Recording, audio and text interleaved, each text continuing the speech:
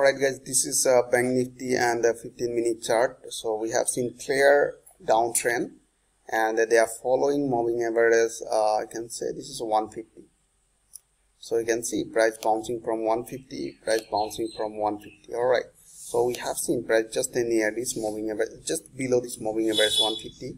So we are looking for short uh, below this uh, moving average. If you want to enter for the sell and you just close your position somewhere here but if you're not seeing a small time frame uh, like uh, 5 minutes for intraday and uh, it is totally sideways market and we need a breakout for buy. All right what is the breakout we need? We need here you can see this is a raised line. So in that case we are looking for a breakout. So once they break definitely we will go for buy and the next target around 18 180 all right that is our next target but uh, you remember we need a breakout candle. So in this area we will place breakout trading strategy so question is that can i go for short? Uh, but i'm not interested to take, enter sell right now.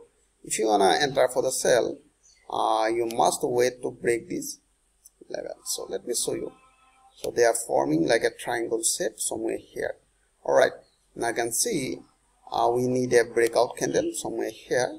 And as remember every criteria should uh, should uh, should be fulfilled in this area if you want to enter for the buy.